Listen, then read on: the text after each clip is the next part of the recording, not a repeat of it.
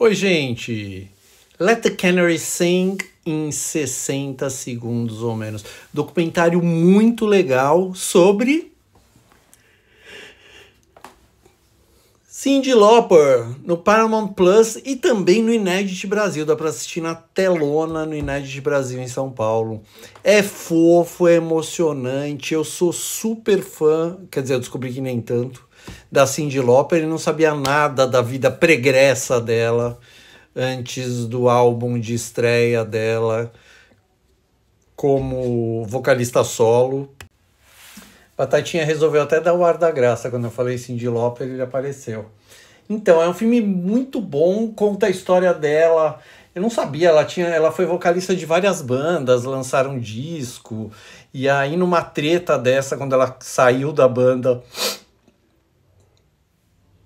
e assinou um outro contrato, ela foi processada e o pelo ex pelo ex é, pela ex gravadora e o juiz falou assim liberou ela e falou ah let the canary sing deixa o canário cantar.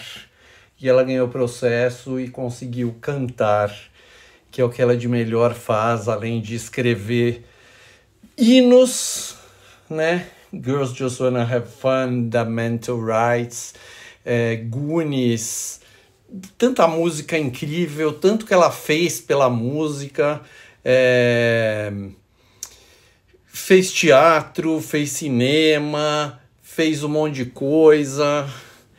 E a gente conhece a história toda dela, da, da vida particular. É, é muito legal porque eu percebi o quanto é legal ser uma pessoa uma artista do tamanho da Cyndi Lauper mais reservada, sabe? Porque Batatinha tá me arranhando aqui. Que foi, Pititico?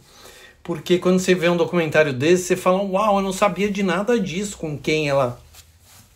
Uh, como ela se casou, como quem ela namorou antes, é demais. Filme, filme pra fã, mas filme para quem nem é fã assim, gosta das músicas dela, vai entender sobre as músicas, como escreveu, é incrível, é incrível. De novo, tá no Inédit para ver no telão do cinema, vai passar na Cinemateca, tal. E hum, tá no Paramount Plus.